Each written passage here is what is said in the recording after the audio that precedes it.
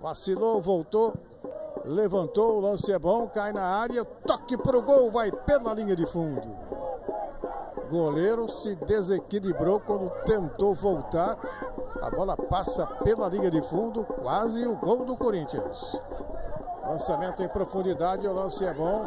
Boa matada do Gregory, recuou, a batida pro gol, vai pela linha de fundo.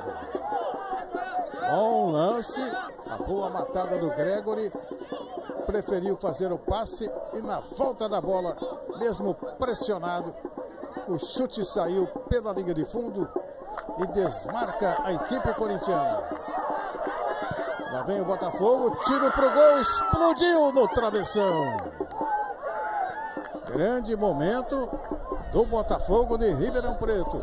Olha a bola na trave aí, o goleiro já tinha saído do lance aí. Subiu, mas não alcançou, né, Paulo?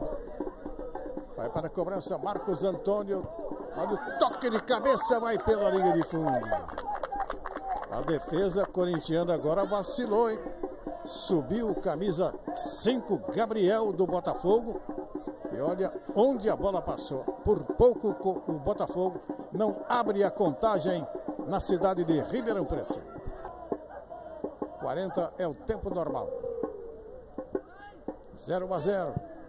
Arriscou de longe o camisa 8 do Corinthians, do fácil intervenção do goleiro do Botafogo, Ângelo.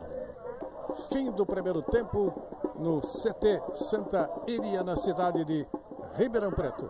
Placar do primeiro tempo, zero para o Botafogo, zero para a equipe do Esporte Clube Corinthians Paulista pelo Campeonato Sub-17. Lucas Piton, camisa 17, preparado para a cobrança de falta. Autorizado, bateu e é gol! Gol!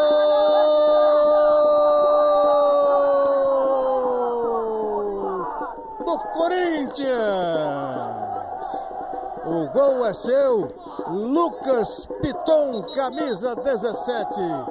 Cobrou com perícia, com malícia, com perfeição, botando no canto direito da meta do goleiro do Botafogo, Ângelo.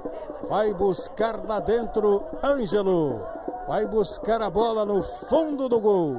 Tempo do jogo, 43 minutos de futebol no segundo tempo. O Corinthians abre a contagem. Um para o Corinthians, zero para o Botafogo.